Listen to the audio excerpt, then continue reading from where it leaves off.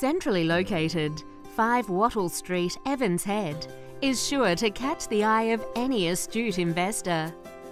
The approved multiple occupancy building offers a consistent income stream and an ideally situated corner block with dual street frontage.